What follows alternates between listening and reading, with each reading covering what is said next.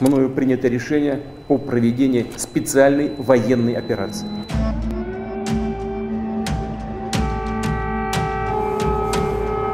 Putin called this a special military operation, but it's clear this is a full scale invasion. Была паника, истерика, слезы. Как мы- у нас пламя было выше дома. We're like in a cellar. I'm not sure if it's like deep enough to help us to survive. Russian troops and tanks have entered Ukraine on all fronts. All these cities are under attack, including the capital of Kiev, which has become Putin's main target. Many are sheltering in basements and metro stations across Ukraine. There have been hundreds of casualties, and over half a million Ukrainians have been forced to flee their homes. This is one of Europe's largest wars since World War II. Since then, Europe's map has been shaped by political alliances. But now, Putin wants to redraw Europe's map by force.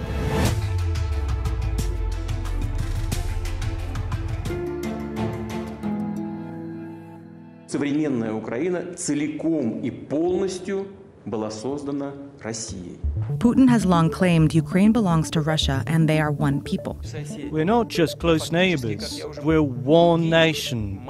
But Ukraine is a sovereign nation with its own language, culture, and political system. And while the two countries do have a shared history, Ukraine has fought hard for its own identity. Ukraine was part of the Russian Empire in the 18th and 19th centuries. In 1917, the Russian Revolution brought down the empire and the region spiraled into a civil war. Ukraine briefly gained independence from Russian rule, but was quickly taken over by the newly created Soviet Union as one of its first republics. Over the next decade, the Soviet Union brutally expanded its control, and by the end of World War II, it forged a sphere of influence over here, while the West held its influence over here, essentially dividing Europe and marking the beginning of the Cold War. The Soviet Union installed communist governments on their side, which were easy for them to control. But the West developed into democracies with capitalist economies. The deep ideological divide fueled distrust and tensions between the two sides, and soon these fears hardened into military alliances. In 1949, these countries, along with the US and Canada, formed the North Atlantic Treaty Organization, or NATO, and promised to defend each other from invasion. A few years later, these countries joined the Soviet led Warsaw Pact alliance, and each side built up its military to protect itself from the other.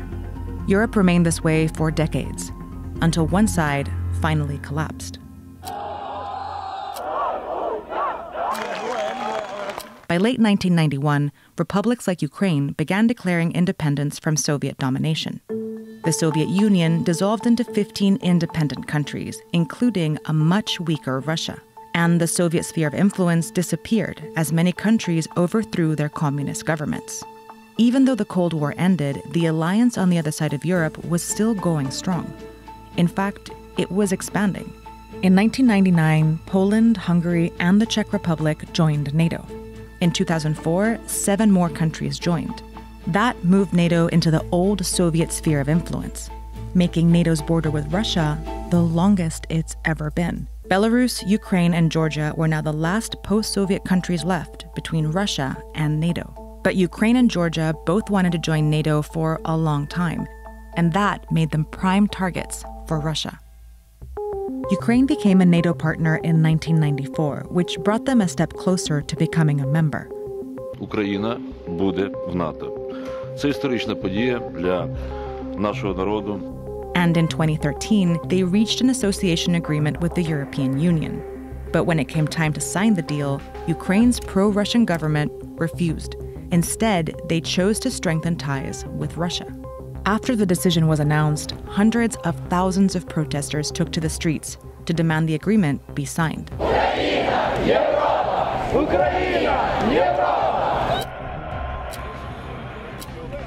After months of peaceful protests, the Ukrainian president cracked down and killed more than 100 people, sparking more protests, which eventually drove the president out of office and the country. This meant Putin was losing political influence over Ukraine, so he decided to use force instead. First, he invaded and annexed Ukraine's Crimean Peninsula. Then, Russia backed separatists captured the regions of Donetsk and Luhansk and declared them independent of Ukraine. Since then, Ukraine has been locked in a conflict with Russia that has killed 14,000 people and displaced nearly 2 million. For nearly eight years, Putin has held on to these regions, destabilizing Ukraine and keeping it from moving closer to the West. But in November 2021, Putin decided to go all in. Satellite images showed at least 100,000 Russian troops and military equipment piling up along the border of Ukraine. Putin repeatedly denied any plans to invade. But weeks later, he presented his demands to the West. His main demand was that NATO stop expanding and move its military borders back to where they were in 1997, away from Russia's. Western leaders rejected his demands. Instead, they put forces on standby and reinforced their military presence in Eastern Europe. Back at Ukraine's border, Russian troops continued to gather. And over here, along its border with Belarus, Russia began conducting huge military drills. On February 21st, the threat of war became real. Считаю необходимым принять уже давно назревшее решение.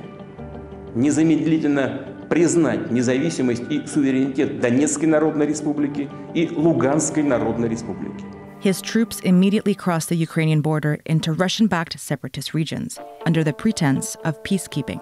Ukraine announced a state of emergency, and President Zelensky made a direct appeal to the Russian people. Война лишит гарантий всех. Гарантий безопасности не будет больше ни у кого. Кто от этого пострадает больше всего? Люди. Кто этого не хочет больше всего? Люди. Кто может этого не допустить? Люди. Hours later, on February 24th, Putin launched a full scale invasion in Ukraine. Специальной военной операции.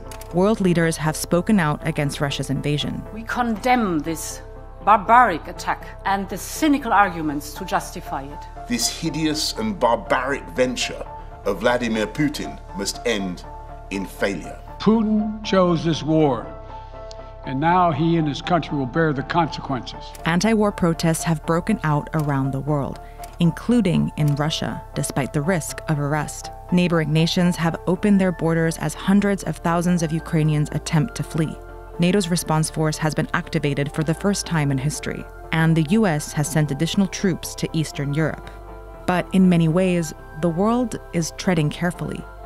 Putin controls the world's largest arsenal of nuclear weapons and has already threatened anyone who might interfere. Кто бы ни пытался помешать нам, должны знать, что ответ России будет незамедлительным и приведет вас к таким последствиям, с которыми вы в своей истории еще никогда не сталкивались. So, countries around the world are imposing some of the harshest economic sanctions to slow Putin down and sending tons of military aid to support Ukraine.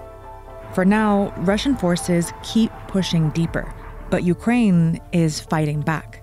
Захищаємо нашу незалежність, нашу державу. І так буде й далі.